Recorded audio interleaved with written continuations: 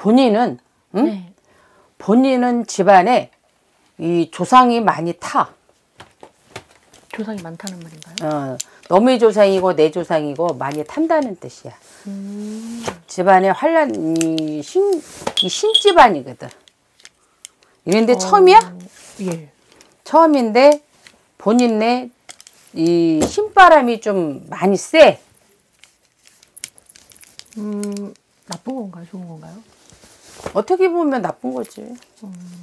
한편으로 보면 또 좋은 거고. 근데 어, 대개 보면 나쁘다고 또 신바람이 세면 그렇게 좋은 거는 아니야 사실 딱하는 게 해서 이제 언니가 처음이라니까 내가 이렇게 이제 세게 못하고 그냥 사설 얘기했는데 아, 네. 응? 언니가 무서울까봐 네. 그런데 언니네 집안은 청춘에 죽은 사람도 많고 응? 그, 죄송한데 청취해 주는 게 무슨 말이에요? 젊어서 죽은 사람 아, 네네네. 응, 처음이라 말귀를 좀 몰아두는구나 네, 죄송합니다. 응, 아니야, 그거. 언니가 근데 마음이 좀 붕 떠 있고, 언니가 이동을 좀, 이동 때문에 온 것 같다. 이동이 뭐죠? 움직이는 거. 아, 직장을. 음. 아, 맞아요. 응. 네. 언니가 이동 때문에, 이동수 때문에 왔어. 내가 뭐를, 직장을 올려 들어가야 되는데, 맘 뜻대로 안 돼, 지금. 네, 맞아요. 응, 그것 때문에 오신 것 같아. 그죠? 네. 응. 근데, 올해는, 올해는 그냥, 웬만한데 그냥 적당한 데 있으면 들어가셔야 돼. 언니 조건에 맞는 직장이 없어. 내년에는 운이 있어. 어? 근데 언니도 성격이 좀 소심해. 어, 그쵸. 응, 많이 소심해. 네. 낯가림도 심해. 네, 맞아요. 응. 낯가림도 심하고 먹는 것도 심하고 먹는 것도 가리는 것도 많고 네. 그지? 심해 좀 소심하고 네. 그래서 덮어덮어 친구도 못 새겨 맞아요. 어. 근데 한 번 친해지면 또 간도 쓰기도 다 줘. 맞아요. 음. 언니가 그래. 근데 올해는 올해는 남자친구를 조심하셔야 돼. 남자 새기는 거를 남자친구 아, 싫어서 괜찮아요. 어 없지? 네, 없어요. 어 없을 것 같아. 소심해서 어? 네. 응. 올해는 언니는 하긴 남자친구가 문제가 아니야. 제 감정가요? 응. 아니 언니가 직장을 잡아서 언니가 돈을 벌어야 된다는 거지. 음, 뭔 말인지 아시죠? 언니가 벌어서 내가 음좀 써야 쓰려면 엄마 아버지한테 돈 달라기가 그렇다는 거지. 아, 그쵸. 어. 네. 근데 올해 들어가면 진득하게 뭐지 있어. 맞아요. 응. 그래서 그것 때문에 왔어요. 응. 올해 들어가면 진득하게 뭐지 있어. 근데 그게 다 제 탓일까요? 언니 탓도 있고, 어? 언니가 사람들하고 적응을 못해. 그리고 언니가 올해 운이 안 좋아. 음, 직장을 들어가서 진득하게. 근데 그게 이게 지금 한두 번이 아닌데? 맞아요. 근데, 어, 직장 생활 언제부터 했어요? 저는 졸업하고 나서 바로 했어요. 스무 살 때부터. 스무 살부터? 근데 스무 살부터 계속 들었다 놨다 계속 그런 거야? 네. 근데 그, 그래도 나름 따, 사정이 있어가지고, 뭐, 이제 갑자기 이제 월급의 조건을 바꾼다던가, 아니면은 뭐, 계약 조건을 어기신다던가, 아니면 돈을 안 준다던가, 아니면 뭐, 사내 트러블이나 이제 조금, 음, 제가 좀 무시를 좀 잘 당하거든요. 왜냐면, 저는 굳이 말하는 타입도 아니고, 그렇다고 막 무지 따지거나 막 그냥, 우선 시키면 시킨 대로 해요. 근데, 이제, 그러다 보니까 조금 만만하게, 그냥 어디 직장에 가도 좀 저를 만만하게 보는 사람들이 되게 많아요. 근데 제가 소심하고 좀 그렇지만 성깔이 없는 건 아니거든요. 그러니까 이제 좀 참다 참다가 이제 언니가 참다 참다 맞아요. 쌓이면 그때는 터져. 맞아요. 그러지 마. 성격을 좀 고쳐야 돼, 언니가. 언니는 성격을 좀 고쳐야 돼. 언니가 이 사람이 뭐를 하거나 말거나 신경 안 쓰는 사람이야. 맞아요. 응. 그냥 내 할 것만 이거 이것만 딱 하고 말아. 언니는. 그죠? 그래서 옆에 사람들도 안 좋아해. 그러니까 언니가 직장을 가면 이리 치고 저리 치고 취하는 거야. 너무 소심해. 너무 낯가림이 심해. 언니가 좀 성격을 좀 고쳐야 돼. 그럼 네, 고치면은 달라질까요? 언니 내가 봤을 때는 언니가 취미생활 좀 했으면 좋겠어. 저 취미생활 엄청 많은데. 뭐뭐 해? 저 인형도 만지고요. 그리고 이제 그 뭐지 그림도 그리고 이제 그거는 나 혼자 하는 거잖아. 그쵸. 아 근데 나름 그 모임이 있어요. 네. 언니는 나 혼자 하는 거 말고 뭐 헬스에다 했든 이렇게 어울려서 음, 성격을 어울리면서 성격을 좀 바꿔야 돼 좀. 그런 것도 좀 있는 것 같아. 그러니까 성격을 좀 내가 될 수 있으면 사람들하고 이렇게 대화도 많이 하셔야 되는 거고 그래야 돼. 그리고 올해는 직장이 네. 언니가 또 들어가도 또 나와. 응? 오늘 세 번, 올해는 세 번을 옮겨야 돼. 세 번이요?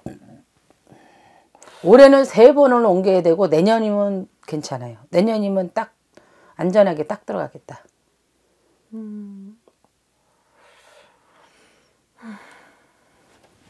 실망스러워?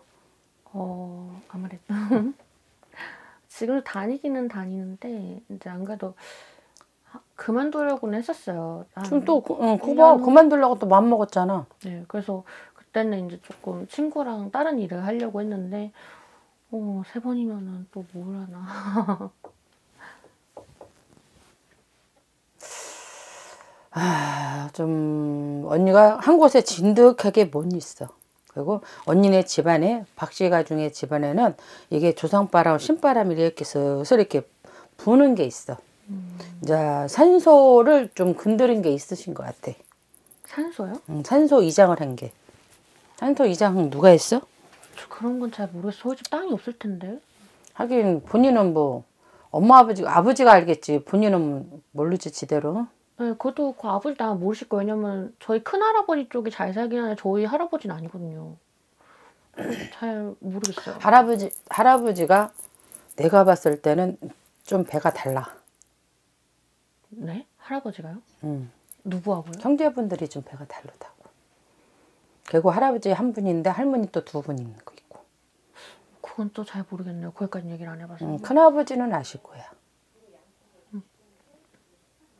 근데 뭐 그거 얘기해봐야 언니는 모를 테고. 아, 그쵸, 저는 모르죠. 음. 네. 그러니까 올해 올해까지 그냥 네. 진득하게 좀 저가셔. 올해 잘못하면 세 번은 옮기셔야 돼. 올해 그냥 계속 음. 운이 그래 언니는. 저 혹시 죄송한데 이건 그 조금 제가 물어보는 거 좀 다르긴 한데 하나만 여쭤봐도 될까요? 응. 혹시 이렇게 막 뭔가 이렇게 뭔가 느끼신다거나 보시잖아요. 혹시 저희 박씨 말고 저희 어머니 쪽에 뭔가 그런 건 없- 없을까? 이건 좀 그런가요? 엄마가 성이 뭐예요? 엄마 최 씨요. 채 씨? 연세가 어떻게 무슨 띠야? 닭띠세요. 닭띠? 예. 엄마 살아 계셔? 당연 당연하죠. 네네네네. 응.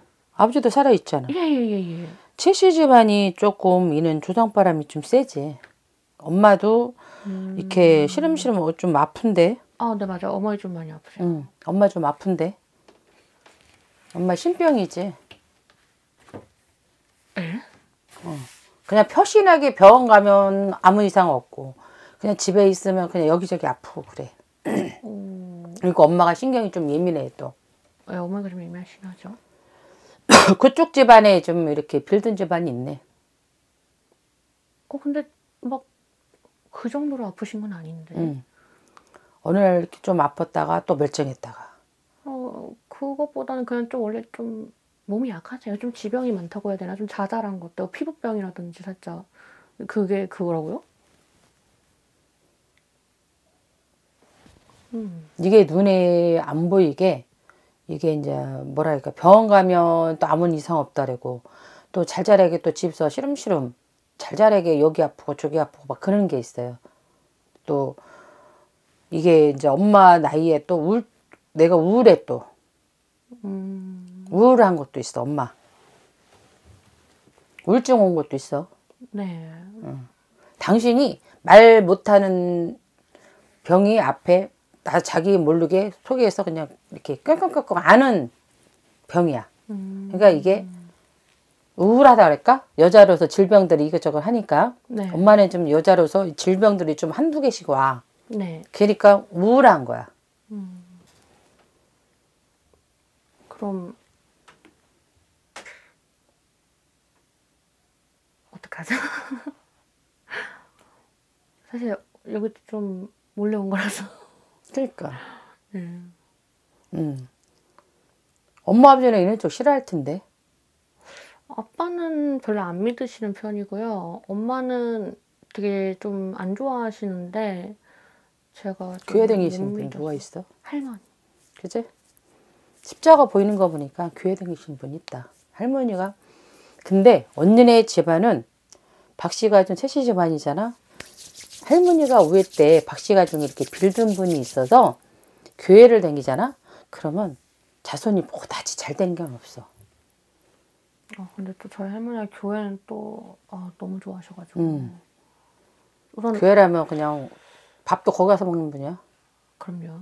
교회 엄청 좋아하시죠. 교회 음. 엄청 좋아하시고 이제 아빠는 할머니가 믿으시니까 할머니 좋아하시니까 그냥 뭐 시간이 있으면은 갈까는 마음이 있는데 워낙 바쁘셔서 못 가시고 어머니는 월- 워낙 저도 그 어머니도 그 딱히 신을 믿진 않아요.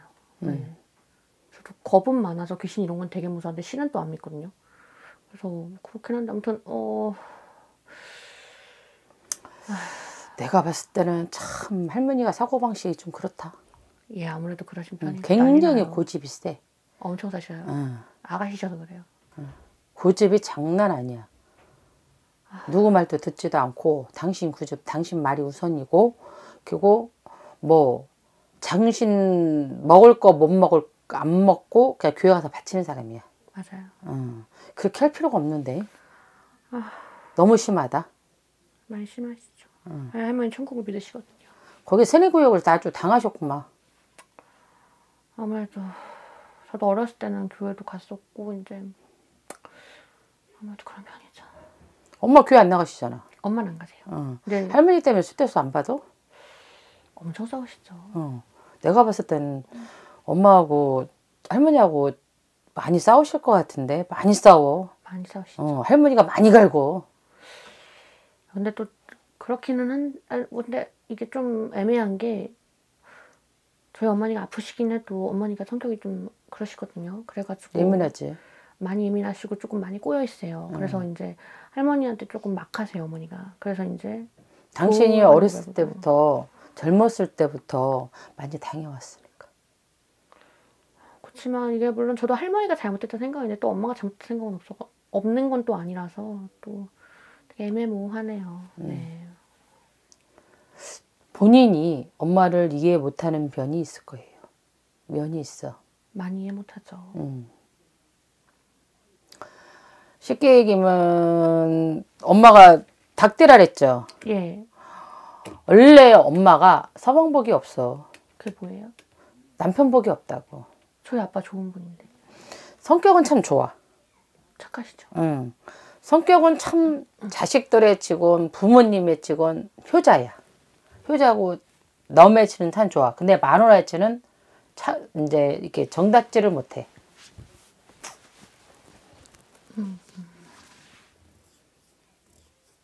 아버지가 무슨 띠야? 개띠요. 그거 봐. 닭띠하고 개띠잖아. 그죠? 네, 엄마가 닭띠라며요. 네. 아버지가 개띠고. 너는 너 나는 나거든. 아버지하고 엄마. 원래 젊었을 때부터 많이 아버지가 저기를 했거든. 그러니까 엄마가 본인, 그러니까 아버지는 본인의 너같이 자상하고 참 잘해. 엄마치도, 자기 할머니치도. 근데 마누라치는 그러지를 못하거든. 그렇지만 아버지 엄마가 해달라는 건 웬만한 거 다 해주는 하지. 네. 부부인데 여태까지 살아왔는데 그거는 해주지. 근데 때로, 때로는 어, 젊었을 땐 속 많이 썩었지. 그것까진 잘 모르겠지만 우선은 아빠는 엄마한테 다 맞춰주거든요. 응. 네. 야, 나이 먹었으니까 맞춰줘야지. 이건 저 쫓겨나지 젊을 않으려면. 때도 막 맡겨줬는데 저희 집은 어 쫓겨나지 않으려면. 근데 이게 또 참 그런 게 아버지는 이제 그 반대인데요 저희 집은 반대야? 아버지가 더 잘해? 엄마보다? 예 아버지가 엄마- 어머니한테 더 열심히 하시고 물론 이제 솔직히 둘이서 이제 서로 좀 포기한 게 있기는 한데요. 그래도 서로 하고 오히려 어머니가 아버지한테 더 막 하는데 너는 너 나는 나거든. 젊었을 때부터. 그건 좀 있죠. 음. 네. 이유가 있거든. 자식들이 모르는 이유가 있어. 아버지가 저기야? 70년생? 53살? 예, 그렇게 되시죠. 엄마가 한 엄마가 한 살 더 먹었네? 예.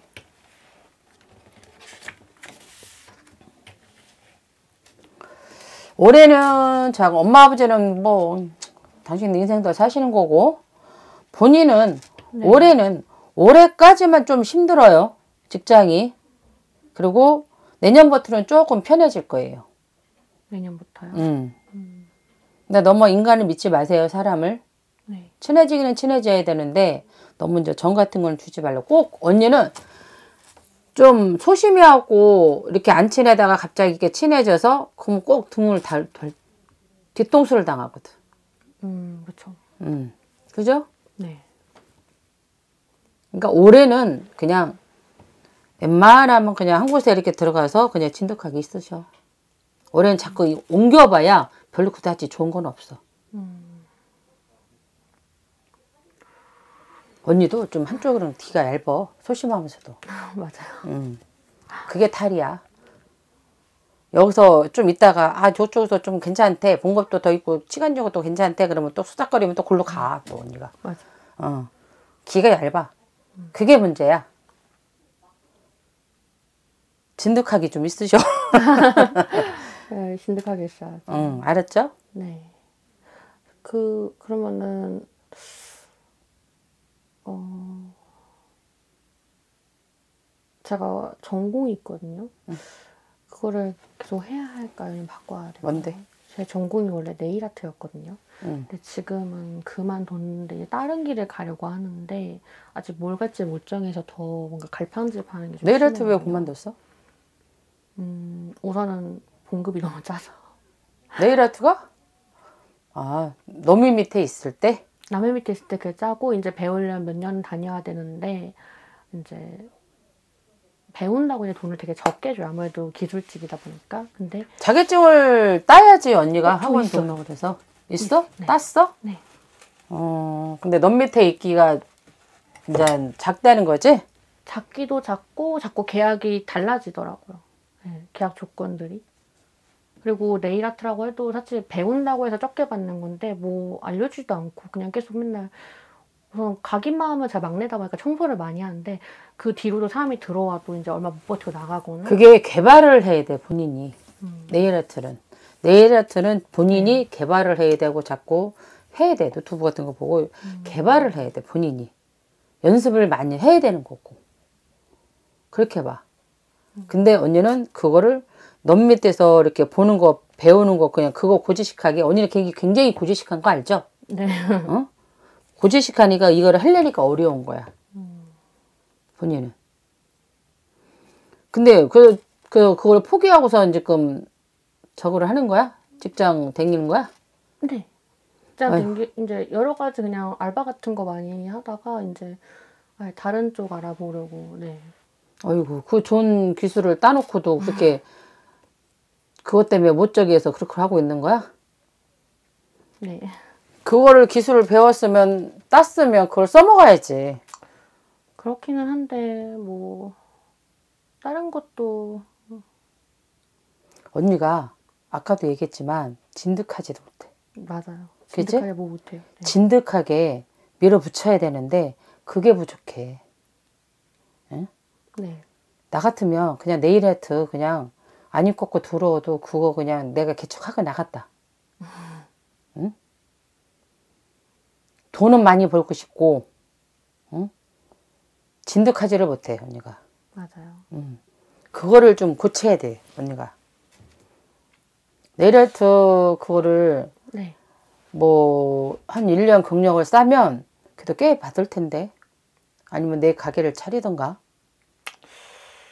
가게 차리기는 돈이 없어서 그죠? 네, 돈이 없고요. 그리고 1년까지는 아니어도 거의 8개월 이제 음. 6개월 쌓다가 딴 거에서 2개월 쌓고 막 했는데 6개월 쌓아도 우선은 그 뭐냐 100만 원도 거의 못 받는다고 해가지고 그 돈 모아서 이렇게 하기도 좀 그렇고 무엇보다 그렇게 모아서 막 하기에는 저희 집이 이렇게 딱 잘 모일 수 있는 환경도 아니고 전 여러 가지로 조금 본인이 잘 벌어야 돼. 맞아요. 본인이 아니면 회사를 큰 데를 들어가야 돼 본인이. 큰 회사를 들어가서 짱 박아야 돼. 맞아요.